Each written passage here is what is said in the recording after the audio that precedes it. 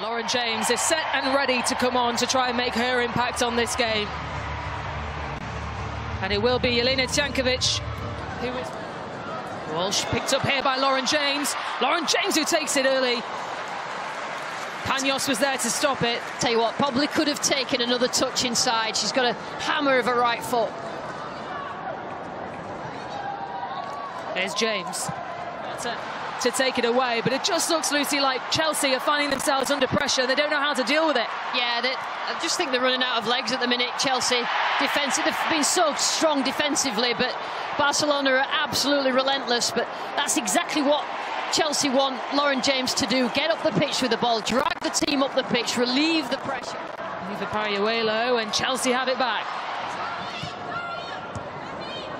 It's Caldentey. Forced back to Mapi León, and it's Caldentey who stays down for Barcelona. And there will be a yellow card shown here to uh, James back for Chelsea.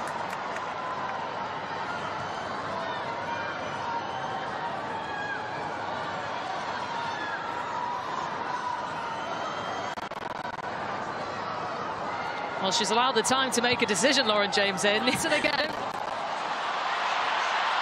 And Torrejon with a chance.